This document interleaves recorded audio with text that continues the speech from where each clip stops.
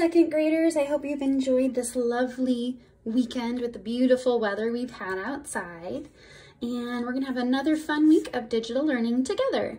So today we're gonna be moving on from two digit addition to three digit addition. And it works basically the same way, but I'm gonna break it down into steps for you. So we're gonna start with our simple HTO chart, hundreds, tens, and ones. And remember, in these place values, if you have nine or less, you can let it rest. If you have nine or more, you need to go next door and regroup.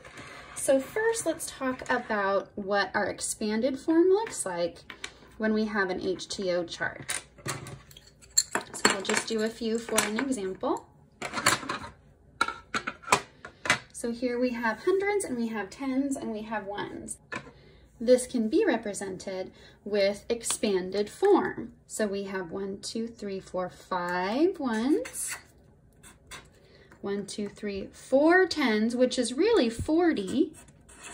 And then we have two hundreds.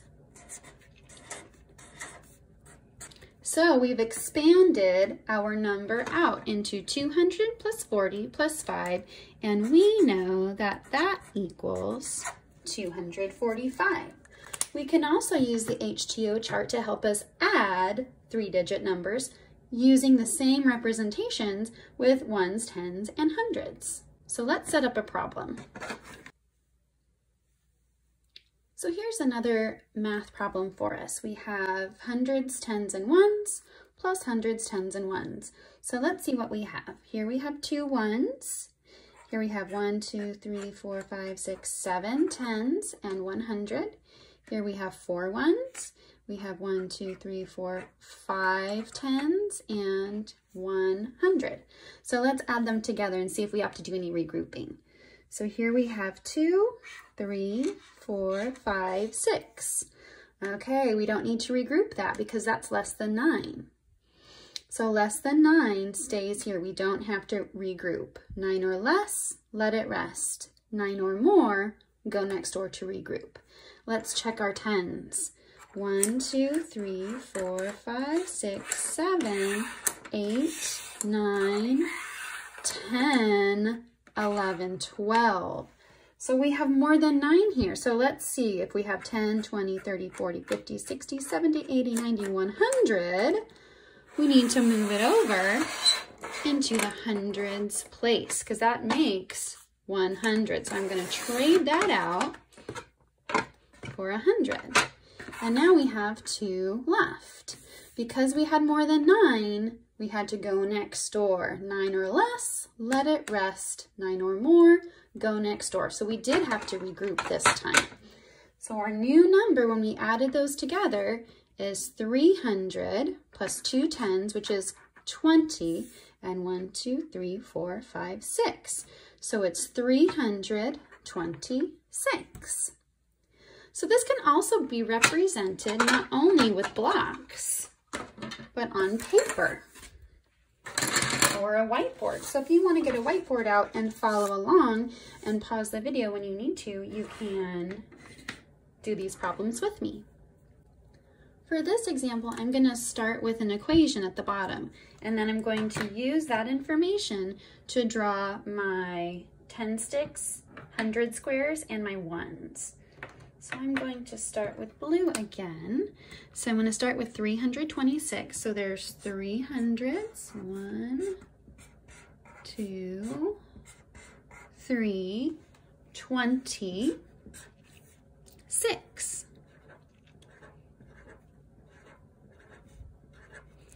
And now I'm going to do 192. 100. 92. Okay, now I am ready to do my adding. So here I have my six, seven, eight. So here I have eight. That's nine or less, so I can let that rest. And here I have one, two, three, four, five, six, seven, eight, nine, 10, 11. I cannot have 11 tens in the tens place, in the tens column. Nine or less, I can let it rest in the tens column. Nine or more, I have to go next door. So I have to take my 100 out of here. So I need to find 10 tens. So I knew this was nine, so I'm just gonna take one from here. And I'm going to take those 10 tens and I'm going to move them over and make a new 100. So now I just have one 10. And now I can count my hundreds. 100, 200, 300, 400, 500. So here I have my expanded form, 500 plus 110, which is 10, plus 8 ones. So I know when I turn my expanded form into a regular number, it's going to look like this. Same thing here. We have five hundreds, one ten, and eight ones.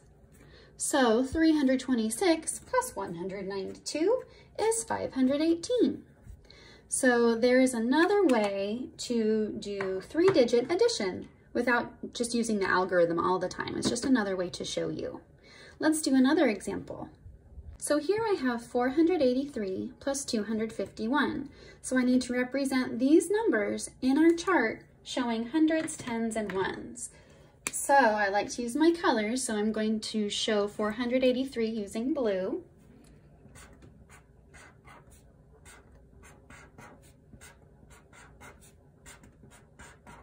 So there's my 400. Now 80, I need to use my 10 sticks.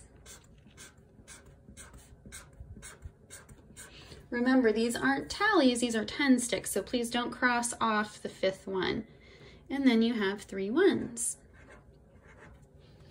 So there is 483. Now I'm gonna get my red marker and I'm going to show 251. So there's my 200, my 50, and my 1. So now I can add them together. Let's see if we have to do any regrouping. So here we have 3 and 1. Well, I know that's 4. And then we have a lot of 10s. I have a feeling we're going to have more than 9. 9 or less, let it rest. 9 or more, go next door and regroup. So we have 1, 2, 3, 4, 5, 6, 7, 8, 9, 10, 11, 12, 13. Well, that is far more than 9, so I need to circle a 10, which would make a 100. 10 tens is a hundreds. So 1, 2, 3, 4, 5, 6, 7, 8, 9, 10. And here I just made a 100. So I'm going to bring that 100 down here. So I've moved 10 tens over and now I have three tens left. Well, three tens is 10, 20, 30. So we're writing it in expanded form. And now I can look at my hundreds. I have 100, 200, 300, 400, 500, 600, 700. So 700 plus 30 plus 4 is 734. We know we have seven hundreds here, we have three tens, and we have four ones. So seven hundreds, three tens, and four ones. So 483 plus 251 is 734. So now that we've practiced the HTO chart, I'm going to have you practice in Seesaw. And then tomorrow we will be doing adding with three digits with the standard algorithm. It's important to know different strategies for adding. So we're gonna do the HTO charts today and then move along to different strategies for the rest of the week.